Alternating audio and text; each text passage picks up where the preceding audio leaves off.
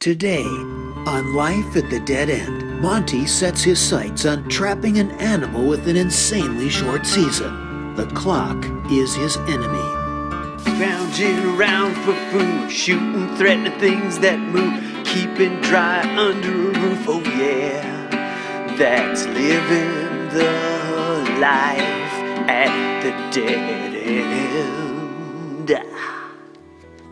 Today, my boy and I are going to put some fisher traps in the bush. We're gonna go this way.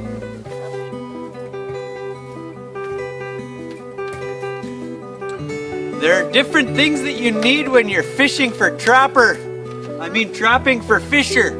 You need a trap. This is a Conibear 220. You need a bag full of bait that you kept from the summer. We'll talk more about bait later. And, and, and you need some bread? And yeah, maybe some bread. Don't need bread. And you need a cubby set. That's pretty much it. And you need a lot of know-how. Fisher are opportunistic. What that means is they eat a lot of things that they just get their hands on, their little clawy hands. So in the summer I kept some bait. I'm not sure what it is, but I bet you it's pretty good. Probably smelly, maybe some some raw chicken or some fish. Here's some old minnows from fishing from summertime. That's good milk. Yeah, good minnow smells good. Every good trapper has a secret. This is one of them. I can't tell you what that is. You can get this at the store if you're lucky. Smells like beaver. And that smells really good. If you're tough, you don't need a trap setter. I could probably do this with my eyes closed. Or even with a child on my back. I could probably set this. So, see this? This is a clamp. A wood clamp, I guess. I got it for 50 cents at a garage sale. Because I knew it would help my fingers when I'm setting a trap.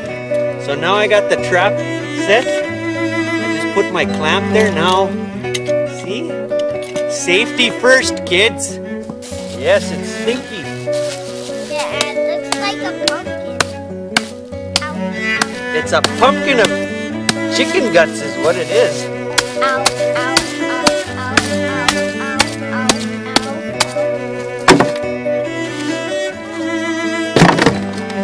There's some intricacies when you're setting these traps that pretty important.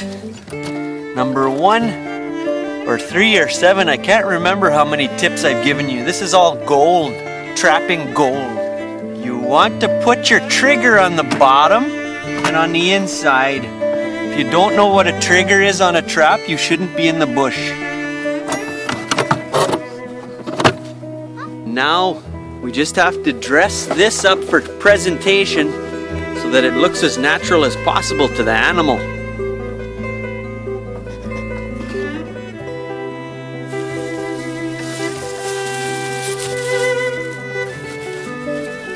I'll show you what it's like to be a fisher coming to my, my set. Here we go.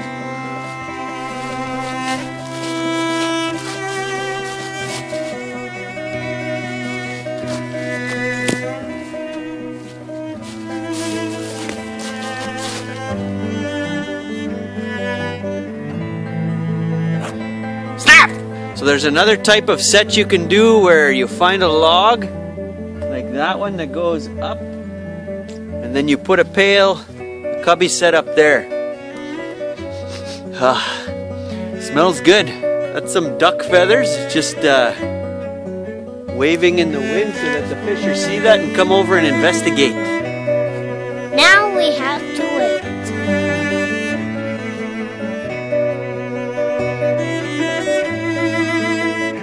Well, it's now nighttime and I'm checking my traps. I have to pull them now because the season is over. And I came down to look at my one pail set. Empty bait. My trap is here, but it is it's set off. So somebody was at my trap. I don't know who. Could have been a bird. I don't see any hair on the trap. We'll go check the other one.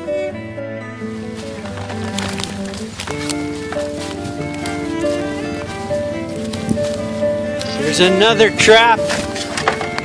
And look, the trap is not in the cubby set. You have to follow the cable. Follow the cable. And uh, an empty trap. Again, an empty trap. This, these two traps were pretty close together. Only about 20 yards apart. Could have been the same animal that outsmarted me this time. I don't know, maybe it was a big mouse and he just snapped it off but didn't get caught. I don't know. I've got a couple more sets to check.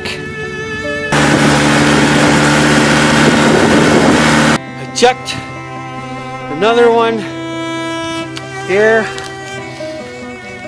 Unfortunately, nothing. I have a bad feeling about this. I only have one more left to check. And then it's, it's lights out for the trapping season for Fisher.